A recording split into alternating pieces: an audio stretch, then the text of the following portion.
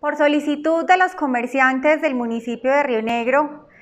el día de hoy nuestro alcalde decide escucharlos y hacer una reevaluación de las medidas que teníamos respecto a la jornada que se desarrollará el día de mañana a partir de las 12 de la noche hasta las 12 de la mañana. Eh, queremos decirle a toda la ciudadanía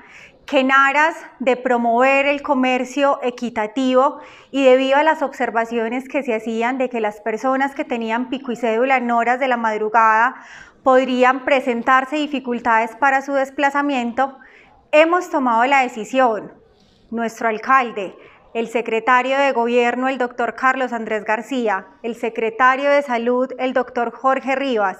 la doctora Lady Valencia, nuestra secretaria general, y por parte de la Secretaría de Desarrollo Económico de suprimir el pico y cédula para el desarrollo de las jornadas este día. Invitamos a toda la ciudadanía a que eviten las aglomeraciones, a que tengan un autocuidado, a que se fijen muy bien en esos momentos en los que los establecimientos de comercio tienen un mayor número de personas para restringirse el ingreso en ese momento. Esta medida que es para la reactivación económica, también es una medida importante para la economía de la ciudad, pero sobre todo es una medida en la que todos debemos estar pendientes del cuidado de nuestras vidas y de la salud de todos los rionegreros.